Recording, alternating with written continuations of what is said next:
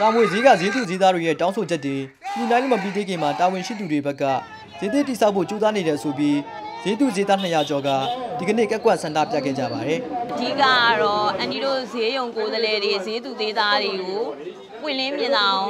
ချပြမပေးဘူးပူပေါင်းပါဝင်ခွင့်မပေးလို့ဘာမှလည်းတောင်းဆိုထားတဲ့အချက်ရှိကိုချစ်ချက်ကိုမလိုက်ရောလို့ဒီလိုအခြေအနေရောက်သွားတာပေါ့လက်ရှိဆောက်လုပ်ထားပြီးဖြစ်တဲ့ယာယီဆိုင်ငန်းတွေနေရာမှာပြန်ကြဈေးသက်တွေထားရှိဖို့ ဒီဇင်ဘာ18ရက်နေ့ကဈေးသက်အချို့ကိုစီဝေးခေါ်ယူပြီးဆိုင်ငန်းနေရာမဲနှိုက်ခိုင်းခဲ့ပါတယ်။ဒါပေမဲ့လူအများရဲ့သဘောဆန္ဒမပါဝင်တာကြောင့်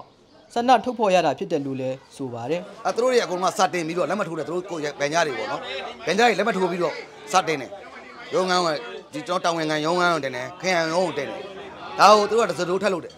လုပ်တယ်မှာလည်းဒုဌာနမှုလည်းပါတယ်ကျွန်တော်တို့ကသူကကိုယ်စလဲကိုရွေးတာပေါ့နော်ကျွန်တော်ရုံကိုယ်စလဲလာဝင်ပြောကြပါ သူတို့မှရုံကိုယ်စလဲမရှိလူကြီးမင်းမလာပြောသူကျွန်တော်တို့ဝင်ပြောပြတာပဲအများဆန္ဒမရှိပါနဲ့မလုပ်ပါနဲ့သူတို့အများဆန္ဒမလုပ်ဘူးသူတို့အထက်ကအမိတ်ပိတ်ထားတော့လုပ်တာလို့ဆိုပြီးတော့ပြောတယ်အထက်ကအမိတ်ကလည်းဘယ်ကအမိတ်လည်းမသိဘူး။တောင်းဆိုထားတဲ့အချက်ရှိချက်ညှိနှိုင်းနေမှုအခြေအနေနဲ့ပတ်သက်လို့ဆန္ဒထုတ်ဖော်ရတွင်ပါဝင်သူတဦးကလည်းအခုလိုပြောပါတယ်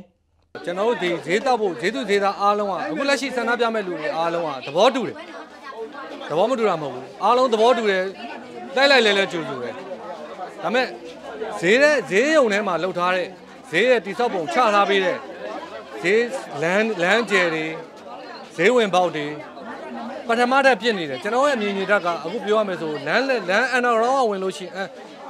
ဒီ platform ဝင်မယ်ဆိုရှင်အနည်းဆုံးကျွန်တော်တို့ရဲ့မြင်ကြီးတက်ဆိုတဲ့ဓမန်းဆိုင်က9ပေခွဲလောက်မြင့်နေပါတယ်